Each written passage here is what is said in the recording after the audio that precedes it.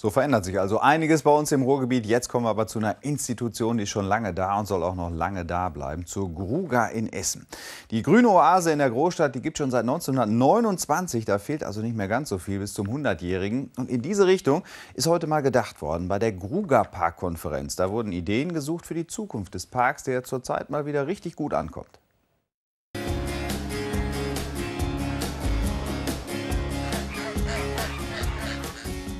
Erholen, genießen, Spaß haben, spielen. Vor allem für Familien mit Kindern ist die Gruga ein echtes Paradies. Das ist super schön hier und ganz gepflegt und mit dem Streichelzoo, mit den, mit den Ziegen dabei und mit den Pferden und ja, so viele Spielplätze für, jeden, für jede, jede Kinder irgendwie was dabei und schon schön hier. Burgi Müller und Klaus Mielitzer kennen den Park seit Jahrzehnten und sind Mitglieder im Freundeskreisverein. Also einiges hat ja gelitten auch unter der Trockenheit. Ne? Sie kümmern sich um Veranstaltungen, Führungen und Sponsoren. Burgi Müller war zum ersten Mal vor 60 Jahren in der Gruga. Dann war natürlich als erstes die Tiere waren da das Wichtigste. Ne? Die Affen, Wölfe, Bären hatten sie. Und ähm, das war also für uns eigentlich das, das war die Gruga.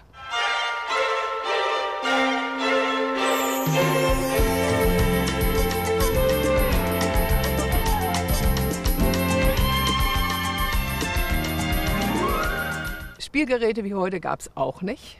Rutschen, Schaukeln, gar nicht. Also wir haben dann einen Ball mitgenommen, mit dem Ball gespielt.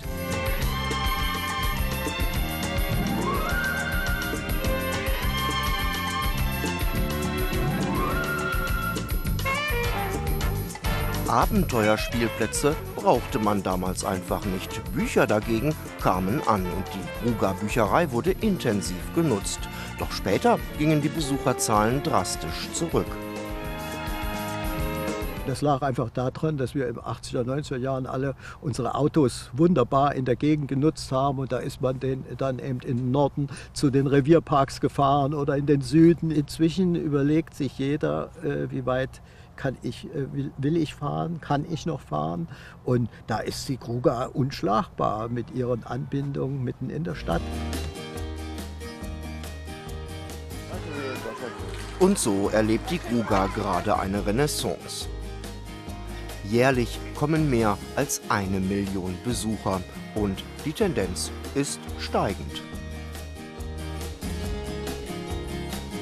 Die Gruga ist also beliebt. Simone Raskop ist jetzt bei mir im Studio, zuständige Dezernentin der Stadt Essen und auch Betriebsleiterin des Gruga Parks. Sind Sie zufrieden, wenn Sie diese Zahlen hören, Besucherzahlen? Also eine Million spricht für sich. Wir haben wachsende Zahlen trotz abnehmender Bevölkerung. Mhm. Und ich glaube, dass wir einen regionalen Einzugsbereich inzwischen haben, nicht nur in Essen. Und ich glaube, mit dem Angebot der Gruga, was wir zurzeit haben, was auch junge Leute anspricht, werden wir auch weiter wachsende Zahlen haben im nächsten Jahr. Jetzt ging es heute Nachmittag ja darum, Ideen zu entwickeln, zu gucken, wie geht es weiter, ja. wie sieht die Zukunft aus ja. Äh, der Gruga. Was war da der wichtigste Gedanke? Also 2020 ist die Zielperspektive und da müssen wir ähm, Alleinstellungsmerkmale weiter ausarbeiten. Das ist der Gesundheitsbereich mhm. mit Kur vor Ort ja 270.000 Besucher im Augenblick mit einer schwarzen Null. Wir wollen aber auch das Spielangebot für Familien, aber auch für Jugendliche erweitern. Aber auch der Bildungsbereich, Umweltbildung. Da haben wir mit Schule Natur 43.000 Kinder jedes Jahr, die im Park sich sozusagen weiterbilden. Macht das denn eigentlich Sinn, so einen Wunschzettel aufzustellen, wenn man eigentlich sagen muss, für Geschenke ist gar kein Geld da? Ja, das ist die Kunst beim Gruger Park. Wir haben ein Netzwerk von 50 Akteuren inzwischen, die eigenständig Projekte im Park realisieren und auch unterhalten. Mhm. Nehmen Sie mal das ähm, McDonalds-Haus, also das Jahrhundertwasserhaus der McDonalds-Stiftung. Nehmen Sie das Gaseum äh, von E.ON und andere Akteure entwickeln Highlights im Park, Leuchtturmprojekte. Mhm und investieren und unterhalten sie. Und ich das glaube, heißt, mit Partnern geht's? Mit Partnern geht's. Mhm. Das heißt, die Zukunft ist aus Ihrer Sicht auch gesichert. Da äh, drohen der Gruga in diesen Zeiten knapper Kassen äh, keine Einschnitte? Also die Stadt steht hinter ihrem Gruger Park und wird die Grundausstattung auch weiterhin finanziell sicherstellen. Aber um zusätzliche qualitätsvolle Angebote zu machen, neue ähm, Highlights wie einen japanischen mhm.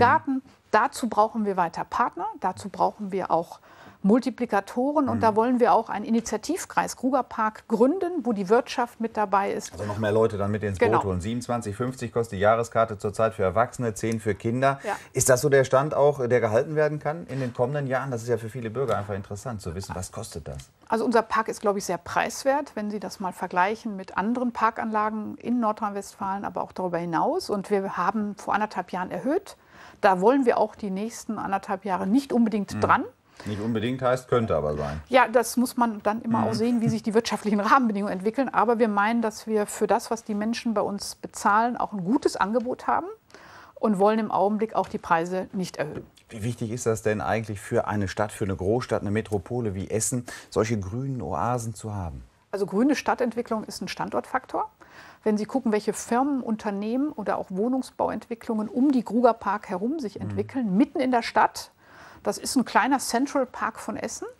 Da sind Großunternehmen, da werden Arbeitsplätze geschaffen und das Thema Grün ist, glaube ich, ein Standortfaktor auch für Familien, äh, für Menschen, die hier arbeiten in Essen, um auch hier wohnen zu wollen. Das heißt, große Bedeutung für die Kruger auch in Zukunft. Simone Raskop, vielen Dank.